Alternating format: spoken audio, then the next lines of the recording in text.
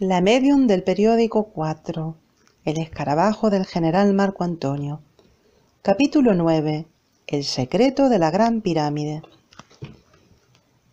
Una comitiva formada por 10 Land Rover Evoque 4x4, de cristales espejados en negro y chofer en cada uno de ellos, avanzaba por la carretera polvorienta en dirección a Guiza.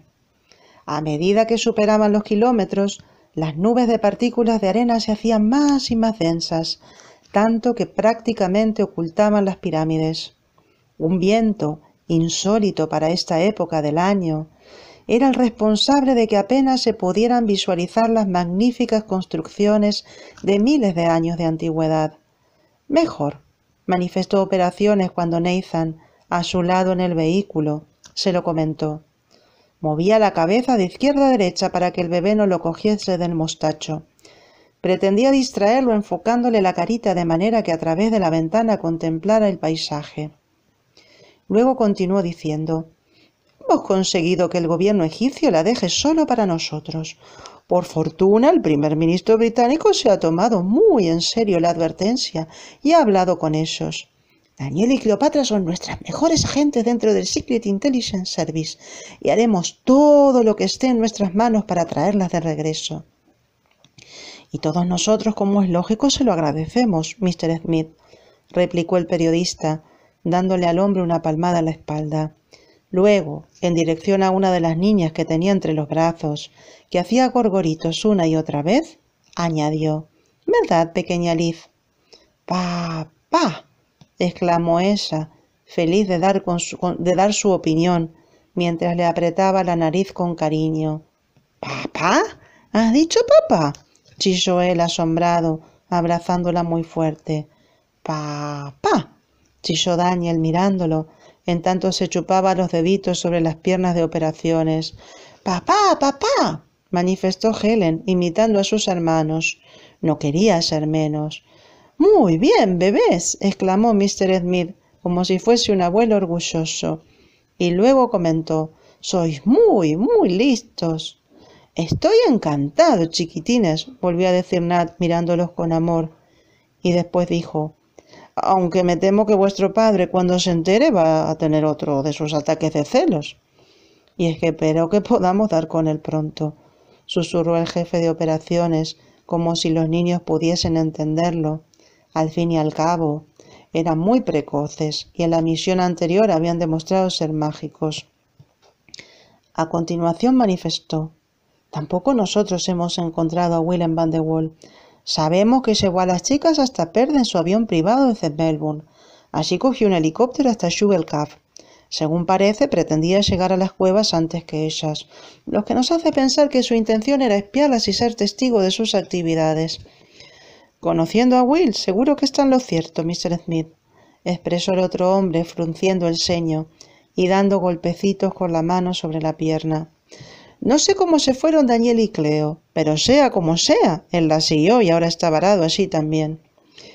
Usted mantenga la calma, que hasta que el tema se solucione nosotros seguiremos apoyándolo en todo, lo tranquilizó Operaciones.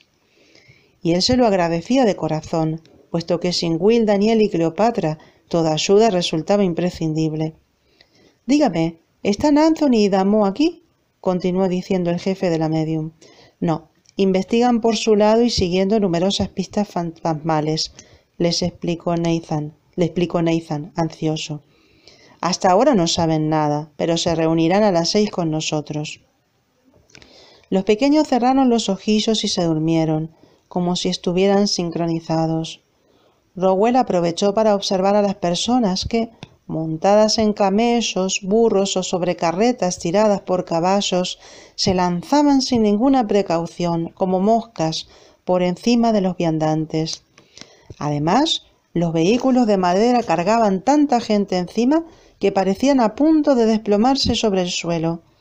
Los infortunados a los que asediaban daban saltos y se apartaban a toda prisa para ponerse a buen recaudo. Era un milagro que no mataran a unos cuantos a diario. El periodista pensó que por fortuna, a medida que se aproximaban a la gran pirámide, el lugar de destino, el gentío se iba reduciendo de modo tal que, al arribar y aparcar al lado de la construcción, solo restaban los miembros del ejército egipcio que los protegía. Muy bien, bajemos, le invitó Operaciones, colocándose a Daniel sobre el hombro y abriendo la puerta de su lado. Rowell se acercó, cargando a las dos pequeñas, al coche del que en esos momentos Lady Helen descendía, ayudada por Christopher Kendrick. Llevaba una en cada brazo y bostezaban, abriendo los ojos azules iguales a los de la madre y el padre. Muchas gracias, joven, le dijo la anciana Chris. Es un gusto estar rodeada de caballeros tan educados. De nada. El placer es mío, manifestó a él, y luego, en dirección al periodista, añadió. Dame a una de las niñas, Nat. Hace demasiado calor. Es mejor que Lady Helen no se esfuerce.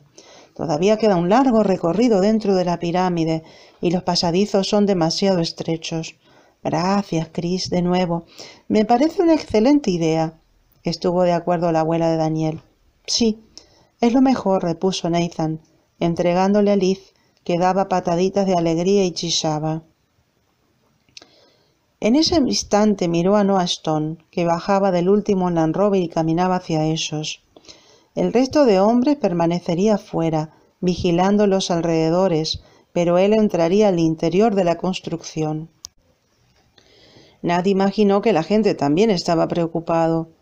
Sabía el interés que demostraba por su esposa y que en la misión anterior incluso se habían acostado. Sin embargo, tenían un matrimonio abierto y a él no lo veía como una amenaza. El único del que debía cuidarse era de Van de Waal, que se sentía siempre impulsado a secuestrar a Daniel y guardarla para sí bajo mil llaves. Aunque, para ser honesto, después de su muerte y resurrección se comportaba de una manera más abierta y menos recelosa. Quizás solo fuese en apariencia. Se le daba muy bien mentir y ocultar, tal como había descubierto Mr. Smith. Había desaparecido espiándola. ¿Entramos? Preguntó Operaciones mirándolos de forma alternativa. Y luego explicó. Es mejor que los esperemos dentro. Entretanto, Daniel, en el pasado, contemplaba con furia cómo ese enorme ejército se aproximaba hacia ellos. Luego miró hacia el cielo, hacia el cielo. Las negras nubes comenzaban a formar los tubos que anticipaban tornados. Meditó que hablaba en serio cuando dijo que estaba dispuesta a lo que fuera para contactar, incluso a soltarlos si se seguían acercando. Por eso se concentró en la causa de su enfado. Un ejército primitivo intentaba entrometerse y ella anhelaba abrazar a los bebés, apoyar a Nathan y a, y a su abuela, que lidiaban con todo en solitario, completar la misión que le habían encargado, volver a su vida normal. Ante el asombro de la muchacha, más de cinco embudos se posaron sobre la arena. Se dirigían hacia los hombres armados, quienes soltaron las lanzas. Así, en desbandada, dejaron de ser figuras rodeadas de elefantes, convirtiéndose en siluetas que se desparramaban por todos los puntos cardinales, como leche caída sobre un suelo porcelánico. Tranquilízate, Dani, exclamó Cleopatra preocupada. No puedes lanzarlos por el aire igual que simples hojas. No voy a dejar que nos entorpezcan los planes, la contradijo la chica, mientras veía con satisfacción cómo la tropa se dispersaba por la zona. Para ya, por favor, podrías cambiar el futuro, gritó, cogiéndola por el brazo y señalando un punto. Estoy así. Sí, para, Daniel. Es Cleopatra, le pidió Tuntancamón ansioso. Puedo reconocerla. La medium respiró hondo. Comprendió que el nuevo poder se alimentaba de todo lo negativo que existía en su corazón. Así que permitió que su alma se llenara con los recuerdos de Damó. Todas sus enseñanzas le vinieron a la memoria, como una ráfaga de brisa calma y templada. En el acto, los tornados se desintegraron y las nubes se fumaron. Tenéis razón, la Cleo antigua viene con ellos. Daniel pronunció estas palabras muy sorprendida. Lo positivo es que ya nos hacemos una idea más exacta de en qué, de, de en qué época estamos. Dime, amiga, ¿recuerdas que nos hayamos encontrado así? Si esto sucedió en tu pasado, tendrías recuerdos. Pues no, manifestó la reina, confusa. Entonces no deberíamos decir algo que pueda alterar el futuro, le advirtió Daniel convencida, y sintiéndose culpable, porque dejándose arrastrar por la ira, a punto había estado de arruinarlo todo. todo. y luego explicó. Ya sabes, con el efecto mariposa no se puede jugar. No sabríamos a dónde puede conducir el más ligero cambio. No sé, me gustaría decirme tantas cosas, repuso la reina con emoción, alertarme, proteger más a mis hijos. Pues yo puedo ver tu cuerpo actual y la apariencia de tu alma, que es igual a esa otra, intervino Tutankamón, señalando a Cleopatra antigua, que cada vez se encontraba más y más cerca. Pero ella solo podrá ver a la nueva Cleo, una extraña. Es cierto, murmuró la reina, dudando. Y créeme que te entiendo, querida amiga, pero si alteramos el pasado, el futuro podría descontrolarse, le dijo la medium con suavidad. Y luego, y luego se disculpó. Sé que he estado a punto de fastidiarla, pero por favor no hagas tú lo mismo. Tienes razón. Además vengo acompañada de un general romano, expresó ella curiosa, moviendo la cabeza afirmativamente y aclarando la visión. ¿El general Marco Antonio? le preguntó la joven. No, no es él, respondió ella, negando con la cabeza. Lo que ninguna de las dos sabía era que, poco después de que Willem le confesara a la Cleopatra antigua toda la situación, un funcionario los interrumpió. Podéis hablar, lo autorizó ella, tirada sobre, sobre un triclinio, a pesar de la presencia de su invitado. Un guardia ha venido a la carrera desde el Valle de los Reyes para informarme que han violado una de las tumbas, la de Tutankamón.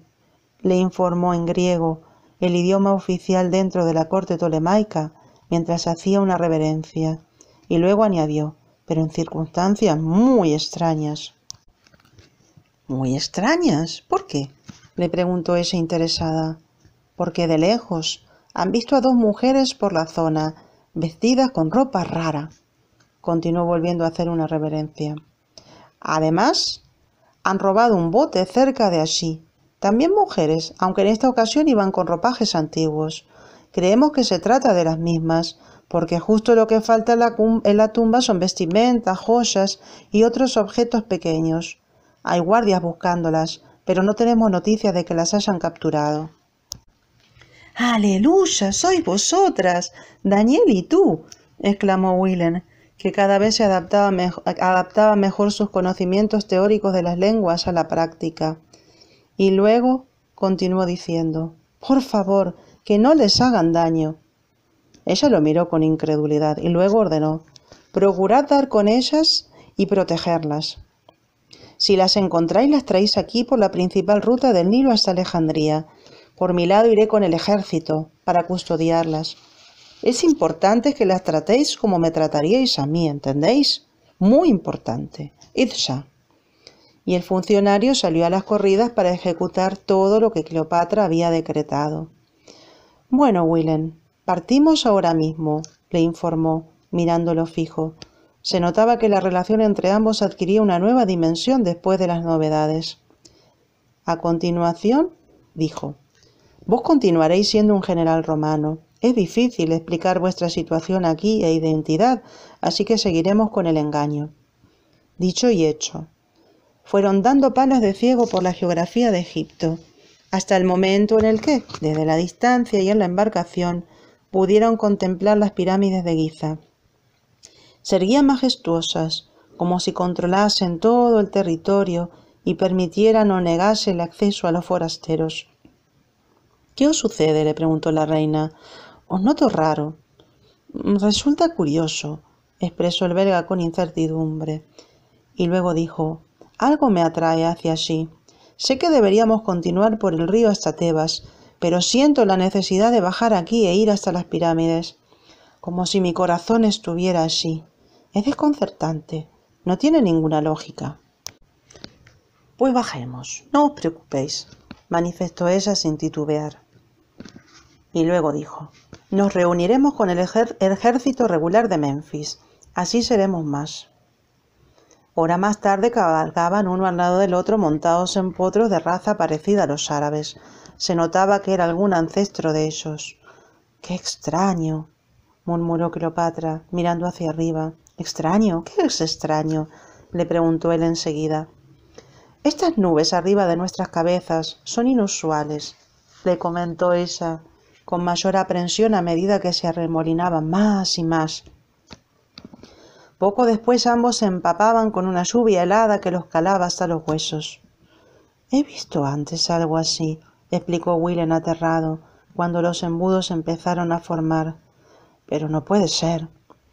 ¿A qué os referís? quiso saber Cleopatra enseguida.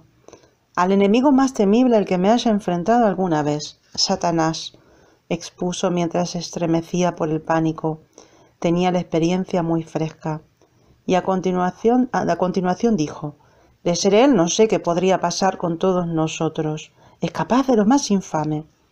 Su especialidad es encontrar tus debilidades para torturarte. Cuando los tubos se posaron sobre la arena y se dirigieron hacia ellos, no tuvo ninguna duda de que ese engendro se encontraba allí. El estruendo resultaba ensordecedor, similar al de millones de ogros aullando. Frenético, bajó del potro a toda prisa y le gritó a la reina, señalando una zona protegida por las rocas. Cleopatra, salta del caballo, nos refugiaremos allí. Al apreciar que la mujer vacilaba, la cogió por la cintura y la trajo hacia su cuerpo para protegerla, en tanto la arrastraba a un sitio seguro. Ella sintió que el deseo la recorría por entero, a pesar del peligro en el que se hallaban. Su ejército dudaba entre ir hacia ellos o salir corriendo. Cuidaos como podáis, les pidió chillando, intentando que la escuchase el mayor número posible de soldados. ¡Corred! En ese instante ellos huyeron en todas las direcciones. Pero a medida que el viento arreciaba más y más, y poco faltaba para que los remolinos los engulleran, como si esfinges gigantes hubiesen cobrado vida, los tornados desaparecieron como por arte de magia, y todo volvió a la, calma anterior. Tardaron media hora en reordenarse. Por fortuna nadie sufrió daño alguno. Además, era necesario que las partículas de arena descendieran y se depositasen sobre el suelo, ya que no se veía nada. Cuando el ambiente se despejó, Van de Wall gritó, Ahí estáis. Daniel y tú estáis allí. Y señaló hacia la gran pirámide. Cleopatra, curiosa, vio una chica rubia y otra morena, de tez muy clara. Te equivocas. Yo no estoy allí, expresó, confusa. Ya te expliqué que ocupas el cuerpo de otra persona, el de la gente Alingrin, manifestó Willen, hablando con lentitud, y luego exclamó, Vamos rápidos con ellas. Y saltaron sobre los potros, que se mantuvieron cerca de ellos durante el caos, y emprendieron los dos al galope por la tierra desértica, sorprendiendo al resto de hombres, quienes, después del desconcierto inicial, lo siguieron al trote. Enseguida llegaron hasta las dos muchachas, él saltó del equino en marcha y corrió hacia Daniel. Al llegar allí la cogió en brazos y dio vueltas con, con ella en el aire. Mi amor, exclamó, depositándola sobre la arena y apretándola con fuerza. La cara de la chica se apoyó en su pecho. A continuación él exclamó, No sabes el miedo que he pasado al no encontrarte. Mientras tanto, la Cleopatra antigua se acercó a la moderna y le preguntó a bocajarro, ¿Tú eres yo? Cleo largó una carcajada antes de decir, sí, pero bastante más joven y en otro cuerpo, y también más vieja y sabia. Daniel me va a matar porque se supone que no debe saberlo. Y cuando comprobó que su otro yo se comía con los ojos al hombre, mientras miraba a su amiga con desagrado, agregó, ¡Puaj! Por favor, deja de baber por Willen. Si naufragáramos en una isla desierta y fuese el último hombre sobre la tierra, jamás se me ocurriría acostarme con él. No me decepciones, chica, ¿sabes? Estoy muy enamorada de Chris, mi marido. Pasarán miles de años, pero al final darás con él. La espera valdrá la pena.